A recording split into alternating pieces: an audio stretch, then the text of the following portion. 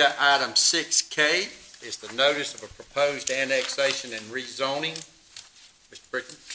Mr. Chairman, Commissioners, as we discussed at our work session yesterday, you have received a notice of proposed annexation and rezoning from the city of Hahira. And as you recall, your grounds for such objection would be based on uh, land use and the density and any infrastructure demands.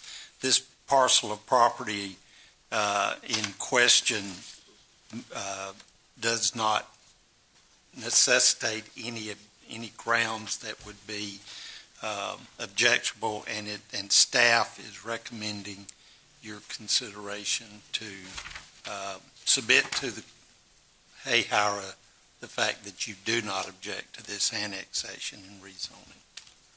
Okay. Any question for Mr. Pritchard? I, I pretty much, I have one, um, Mr. Chairman, um, I was looking at this application, and I didn't know the applica, they had this information on here. Um, and I think Jerry Stoker is the owner, perhaps, of, of the. He's uh, the owner's representative. Owner's representative, right? Yeah, he doesn't own the. And I, I guess the question I, I I had was, I see it says, has the owner made campaign contributions over two hundred and fifty dollars to any local government official of the local government considering the application? Is, is that city and county elected officials, meaning?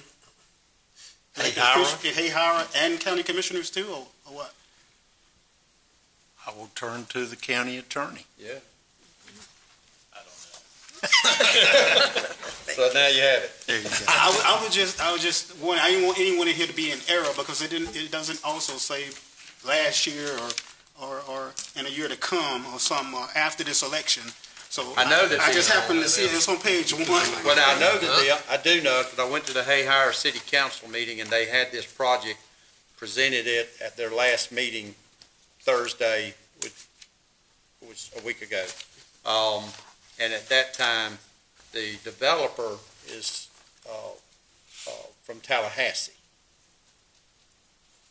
Well, I was just saying, it it says that the property owner, and, and I, I just, I just, I never, I don't even see why they have it on there, but it, it just says, has they, have they donated two hundred and fifty dollars or more to any local government official of the local government considering the application? And, Yeah. just, okay. I know we have people run for office all the time. Okay, any other questions? Uh, Commissioners, I'll entertain a motion, but my recommendation would be to, uh, to approve this request and not object to the, um, annexation. I move that we approve the request and not object to the annexation. Okay, we have the motion, do we have a second? Second, We have a second, any other discussion? Hearing none, I'll call the vote, all in favor signify by aye. Aye. Any opposed, like sign. Hearing none, the motion carries.